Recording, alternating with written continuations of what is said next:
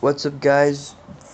This is Abbas Naqvi here and today we're gonna talk about the LG V20 it is the flagship by LG after the LG V10 and we also have seen the LG V30 that is which is above V20 but we're gonna see how we can install the LG in LG V20 the Oreo update of Android which is the latest version of Android.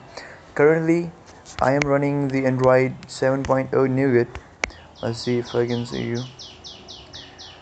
Uh, software information Android 7 like you can see it's the Android Nougat Android 7.0 so there if you wanna uh, upgrade your LG V20 towards the Android Oreo then you have to use the Lineage OS 15 but with that system there will be the option of not using the SIM card.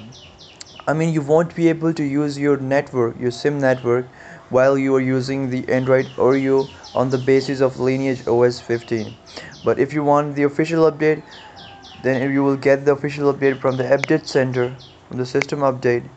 You'll have to wait for the security update downloading first and then the next month of this year, I mean in uh, February, in April.